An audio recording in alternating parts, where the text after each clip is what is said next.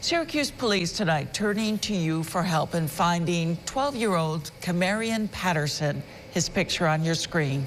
He was reported missing around 1 o'clock this past Thursday afternoon from his home in the 400 block of Rich Street.